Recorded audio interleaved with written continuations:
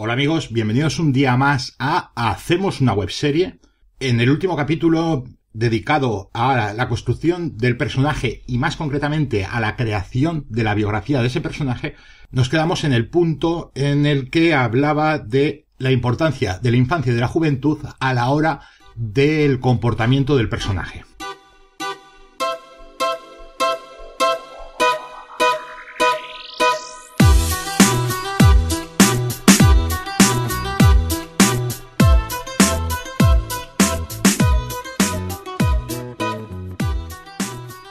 Vamos a continuar con el siguiente punto de este listado que describí en el anterior capítulo, en el que comentaba que los puntos importantes a la hora de escribir la biografía de un personaje era primero el sexo, después la infancia y la juventud, la apariencia física, cómo es su cuerpo y cómo viste, la forma de expresarse, la forma de relacionarse con el sexo atrayente, las estrategias que toma al enfrentarse con las distintas circunstancias que le ocurren en la vida y sus influencias.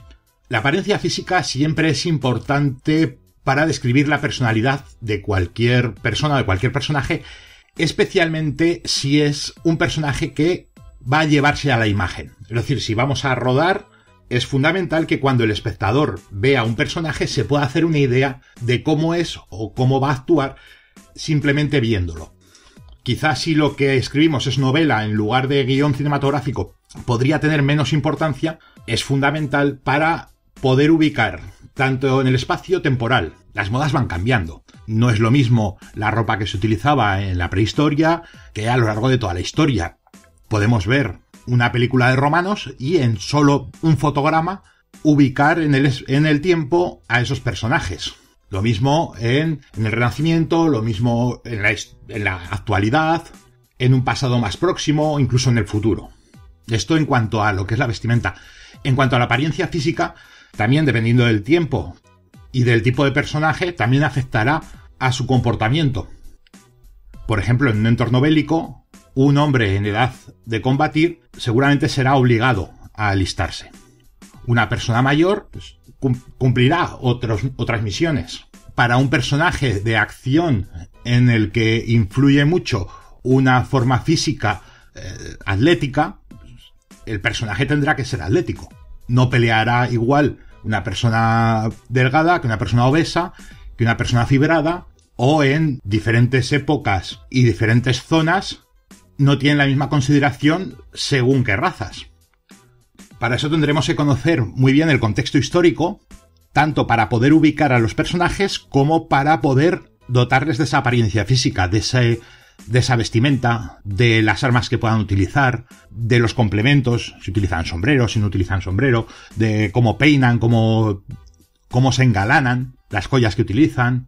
Y en cuanto al comportamiento en las distintas situaciones, según su físico, hay un libro fundamental que es El origen del hombre, de Charles Darwin, que aunque no sea tan famoso como El origen de las especies, es otro de los libros que más han influido a los biólogos y que más deberían influir también a los guionistas.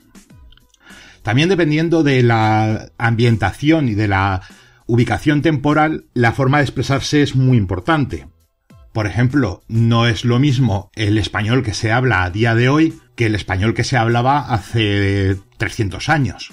Ni es lo mismo dependiendo de la ubicación. Aunque tengamos un lenguaje común en España, en Colombia, en Venezuela, en Argentina, en todos los países hispanoparlantes, hay unos modismos y unos giros lingüísticos que solamente se dan en determinadas regiones. Además, esto influye también a la hora de relacionarse con otros personajes y también indica rasgos muy importantes de la personalidad.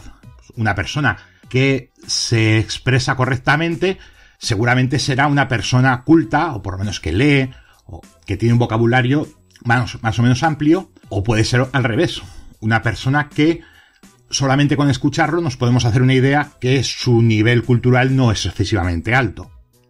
Incluso el mismo personaje, dependiendo de con quién se relacione, hablará de una manera distinta a cómo se relaciona con otras personas. Veamos un ejemplo que ilustre esto. Vamos a pensar que escribimos una historia con un personaje que es, por ejemplo, militar. Vamos a llamarle el coronel José María Coscuyuela. Se apellida Coscuyuela y entonces tiene unos amigos que le llaman el Coscu. Vale. Otros amigos le llaman Chema. Aunque se llama José María, pues... Otros en lugar de llamarle José María, le llaman Pepe. Como es coronel, la mayoría de los militares, sus subordinados, le tratan de usía. Hablo de usía, mi coronel. Sin embargo, él, cuando habla con los generales, les habla de vuecencia. Cuando va a pasar las vacaciones al pueblo, le llaman por el mote que tiene la familia.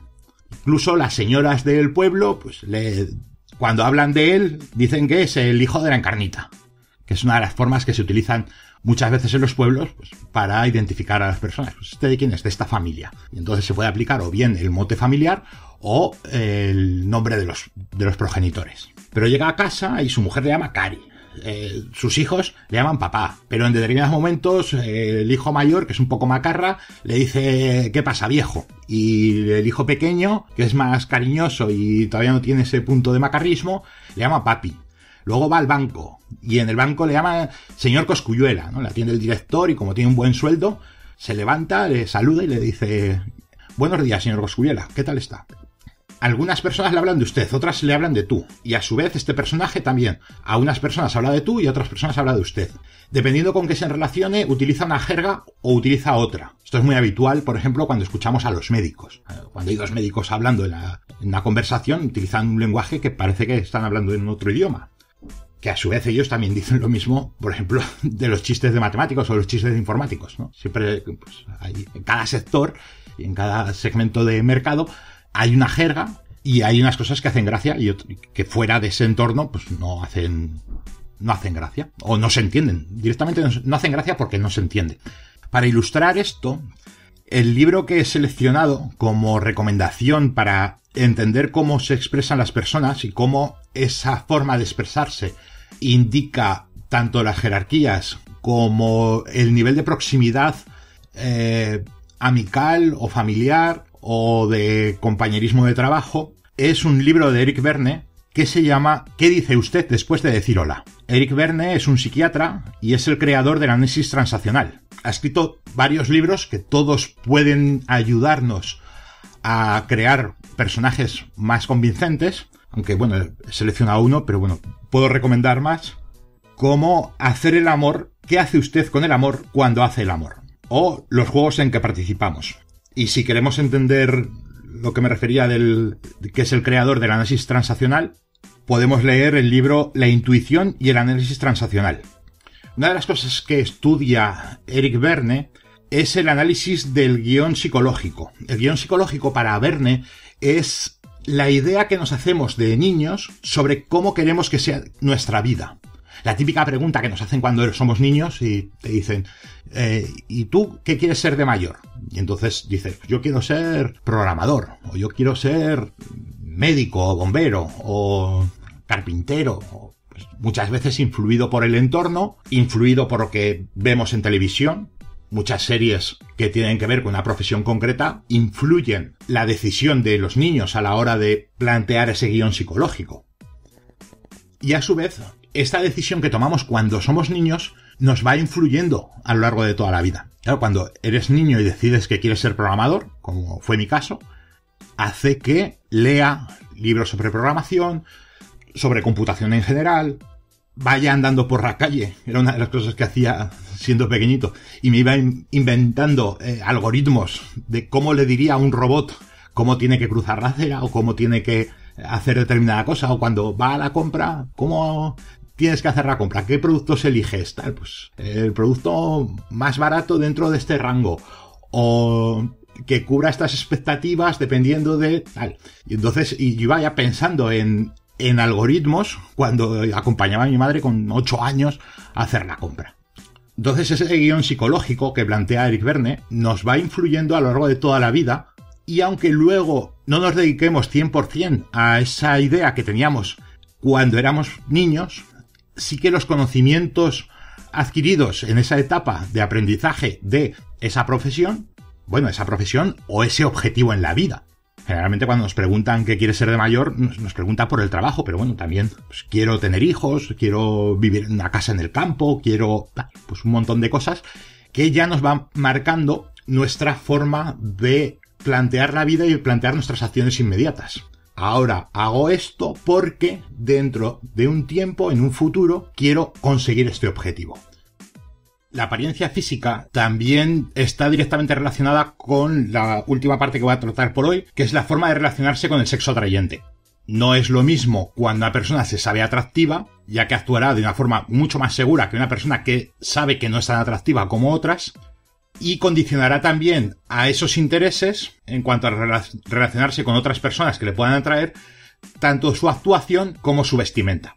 Aquí influyen varios factores, principalmente tanto el sexo del personaje como el sexo que le atrae, es decir, si es una persona homosexual, bisexual o heterosexual, y la intencionalidad que tiene con esa persona con la que se está relacionando. Si es simplemente un interés meramente sexual cortoplacista o busca una relación mucho más estable.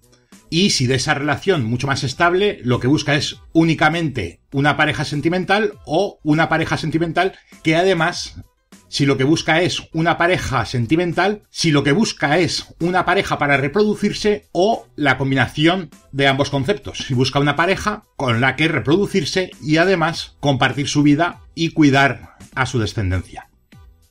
Seguramente el mayor experto a nivel mundial sobre la selección sexual será Geoffrey Miller, que tiene varios libros publicados al respecto, aunque yo nunca he encontrado ninguno publicado en español lo cual me extraña porque es una persona que le citan continuamente en revistas científicas, en artículos en, nuestro idioma. Sin embargo, yo no he encontrado, quizás si alguno conoce la existencia de libros suyos en español, pues si lo deja en comentarios mejor. Como digo, Geoffrey Miller es un evolucionista estudioso de la selección sexual y también del comportamiento que tenemos los individuos en esas fases del cortejo es difícil quedarse solo con un libro. Yo voy a proponer dos, o a recomendar dos, que serían los que más se ajustarían a los propósitos de la creación de personajes de ficción creíbles y su relación con, el sexo atrayente. Serían The Mating Maid, How Sexual Choice, Shaped Human Nature y Spend Sex Evolution and Consumer Behavior. Los voy a dejar en los comentarios para que si alguien quiere leerlos o buscarlos, porque en toda la historia del teatro, en toda la historia de la literatura, en toda la historia del cine, el amor y el sexo siempre ha sido uno de los elementos fundamentales a la hora de construir historias, ya que es uno de los elementos fundamentales en la vida de cualquier persona. Nuestros genes son egoístas, quieren replicarse, y para eso hace falta siempre una pareja, aunque solamente sea una pareja para procrear. Luego ya educar a los niños, cuidarlos y demás sería otra segunda fase que no necesariamente tiene que estar relacionada con la procreación.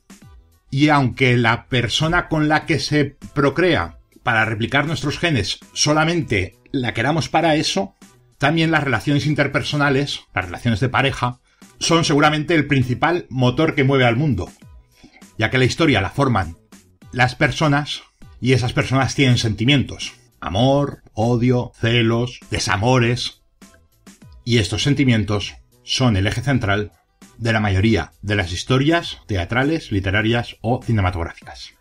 Y lo que he dicho otras veces, o sea, si esto nos ocurre en la vida cotidiana, a los personajes les tiene que ocurrir lo mismo. De esa manera conseguiremos que nuestros personajes sean creíbles.